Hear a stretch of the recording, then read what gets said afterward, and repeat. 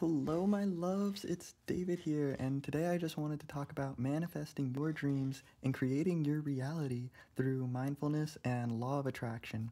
Before I start, I just want to quickly disclaim that I am not a subject matter expert on this by any means.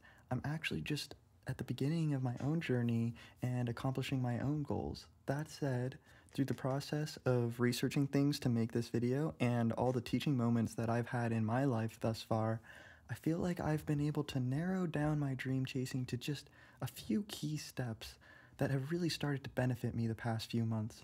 So, without further ado, here are the top two things that I do to manifest my dreams.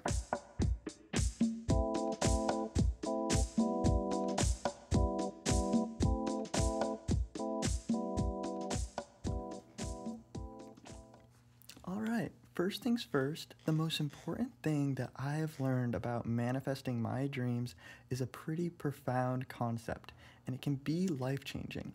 It is that at any moment, I am able to choose to be that higher version of myself that I have always wanted to be.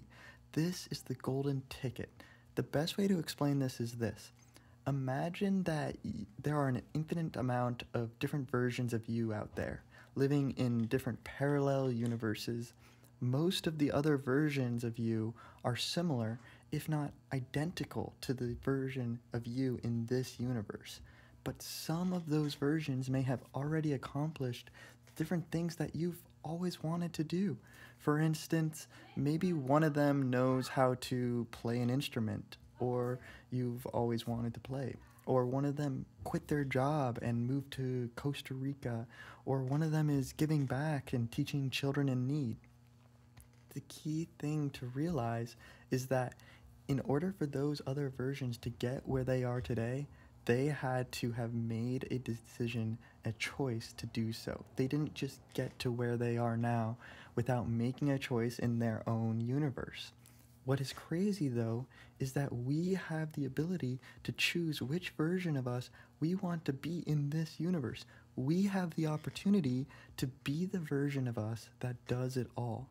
We just have to choose moment to moment to do things in this universe that align ourselves with that version that we look up to the most. And by making this choice, we actually become that higher version of ourselves because that is exactly what the other version is doing. It's making choices. This is perhaps the single greatest blessing of our universe, and it's also one of the biggest blessings of being a privileged person is having freedom of choice to align ourselves with our higher self. And by doing so, we actually are that higher self. One example in my own life is that I've always had this self limiting belief that I'm small and skinny and therefore will never be a fit, handsome, attractive person. But one day recently, I realized that there's probably a David Schreiber out there who is just super lean, super built, really attractive, and I could actually align with that version right now if I just decided to go and work out and focus on my body more. And so now I look forward to working out because it not only feels great and beneficial to my mind and my body, but I feel a sense of elevation vertically because all of a sudden I feel like I'm living in a separate reality of David Schreiber.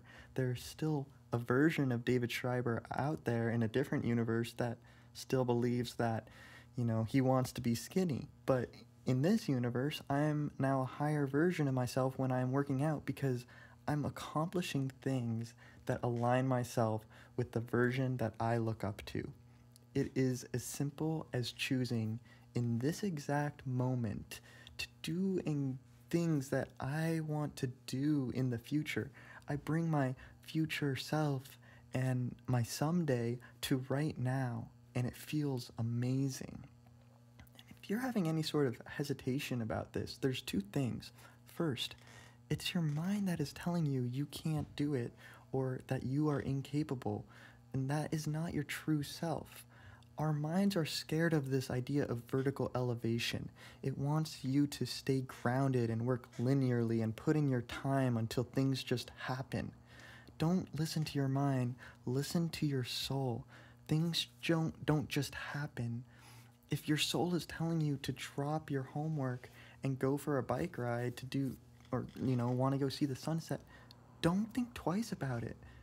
Second, if your mind is holding you back, you can trick it by telling you telling it you are already this higher version, even if you haven't taken the steps to carrying out the choice.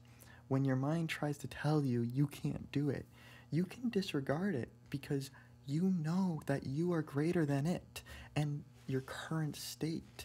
And then you just go and you do whatever the higher version would do.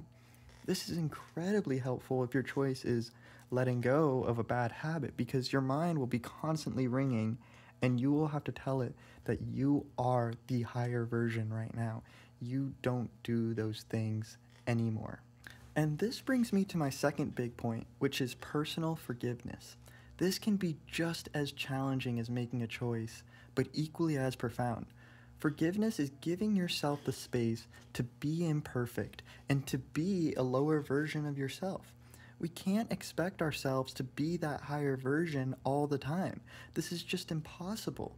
Even the highest versions of ourselves in those other universes have equally as many moments of being a lower self. For instance, I do not work out every single day. I actually probably skip my workout more days than I accomplish it. On these days, it's really, really easy for my mind to start criticizing myself, even to this point of self deprecating thoughts like, how do you expect to be that higher version of yourself if you skip days? This is completely contradictory to what I was saying before, and it's imperative that you understand the difference between what your mind is telling you and what is actually happening. The difference is that I am not becoming or training to be a higher version of myself when I do these things. There is not some end goal. Instead, I am immediately that higher self when I do the things that align with it. The act of doing is what allows me to be that version, not some crazy self discipline thing where I can't mess up and miss a day in order to accomplish my goals. Instead, every moment that I make a choice to do something that I want to do in the future, I am that higher self. Every moment that I skip, I merely miss an opportunity.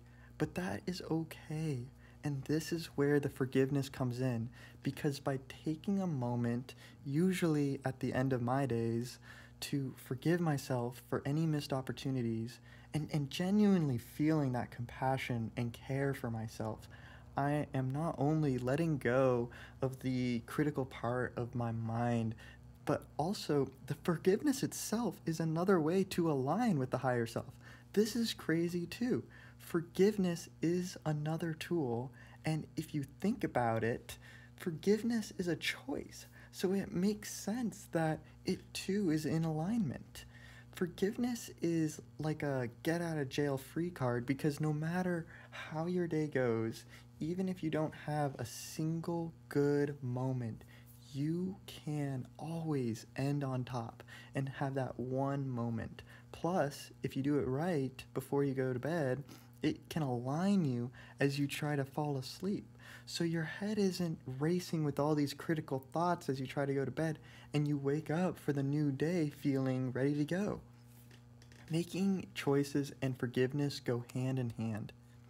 And if you don't know exactly how you are going to forgive yourself, one of the best ways that I've found to forgiving is a quick stretching routine.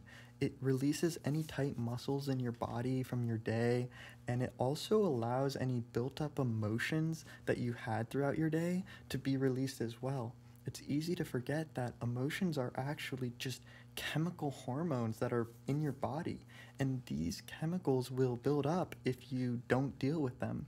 So, stretching out your hips and your glutes and your upper back and your lower back and your ankles, this will release these built up emotions.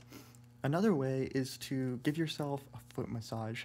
as if someone else was doing it and say out loud, like, I forgive you for the missed opportunities that I had today or the things that I didn't accomplish. This quick five minutes exercise will bring so much positive change to your night and your morning routines and throughout the rest of your day, really. So, there you go. Two incredible tools for you to take your goals and your aspirations and your future dreams, your someday, and make them right now. There does not need to be a someday. We do not need to wait around for what we are meant to accomplish in our lives. And it's taken me 22 years to learn this. And I hope that each and every one of you feels inspired to get up and do something that you've always wanted to do right now. Hi there, wonderful human. Thank you so much for listening and sticking around at the end of this video.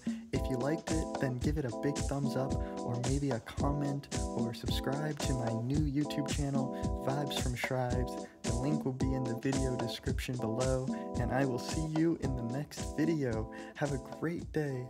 Thank you.